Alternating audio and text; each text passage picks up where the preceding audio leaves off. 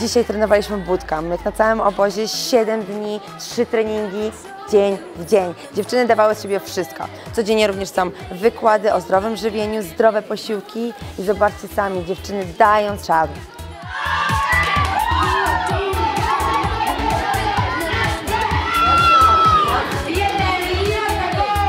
Polecam, polecam wszystkim. Ania daje wycisk, jest naprawdę super, e, z uśmiechem, z pozytywną energią.